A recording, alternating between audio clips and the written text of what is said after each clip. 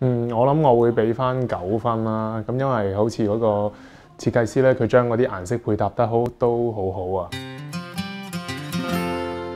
咁樣好似書房咁樣啦，佢將嗰個櫃咧，嗰啲櫃門嗰啲暗門都做得好好，唔會話將嗰啲袋咧好顯眼啊。咁佢就啲顏色配搭得好 match 咯。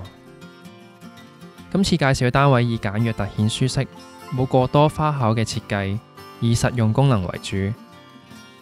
素雅嘅一室為戶主嘅一家提供寫意嘅安居。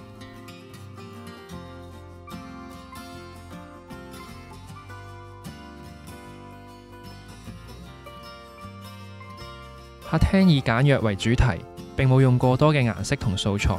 主色調以白色為主調，以淺木色為配襯，並以中式嘅台凳做調和。唔少人因為風水嘅問題，驚走廊直衝大門。設計師喺走廊前面加設暗門，解決戶主問題嘅同時，亦令一室嘅視覺效果更加整齊。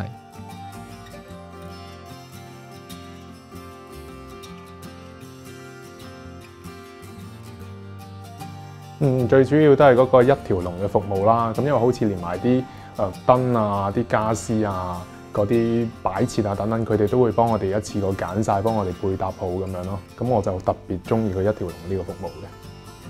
掛牆電視配合矮櫃嘅設計越嚟越常見。除咗為戶主提供一個實用嘅儲物空間之外，矮櫃嘅設計亦都伸延出空間感。飯廳靠牆嘅一列組合櫃，配合玻璃同射燈。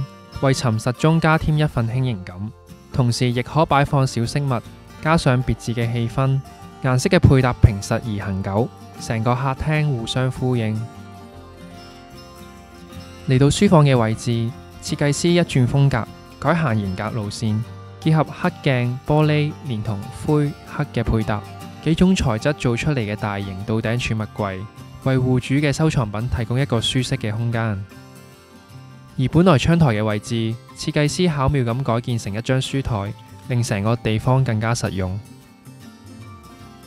另一間睡房延續咗客廳簡約嘅淺啡色調，統一嘅設計散發出和諧嘅舒適感。另一方面，为咗增加储物空间，设计师为客户设计出一个到顶嘅衣柜，同时响床下面加设多个柜桶，以达到户主嘅要求。嗱，而家流行呢個簡約嘅設計啊，但如果你想简约得嚟又有啲嘢睇，可以點做呢？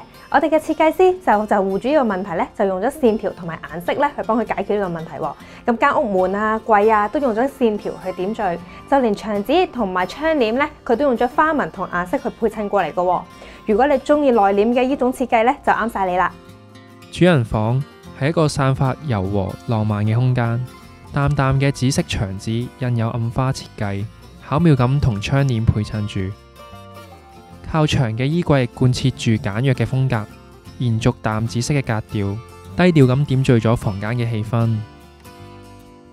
咁我揾設計情報中心，最主要都係因為有啲朋友佢哋自己用完啦，都覺得好好，咁佢哋推介俾我嘅。